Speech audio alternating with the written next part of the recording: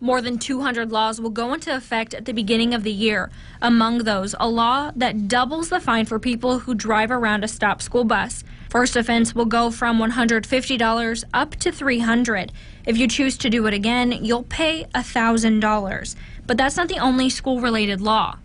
Middle and high school students will now learn more in sex education than they have in the past. Next year, they'll be given information on the meaning of consent to sexual activity.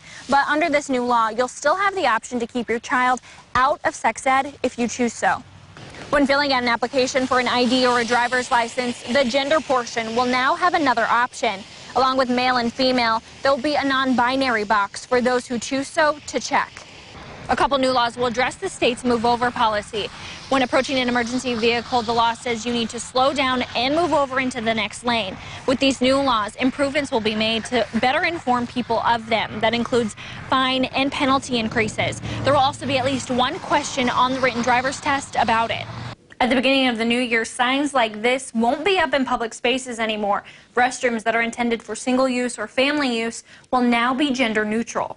The Department of Child and Family Services has been in the spotlight this year after the death of some Illinois children.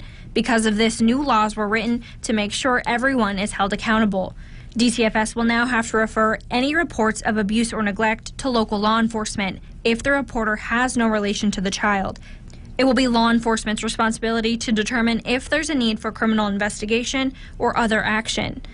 The list of all laws going into effect on January 1st can be found at tristatehomepage.com. In Illinois, Miranda Meister, Eyewitness News.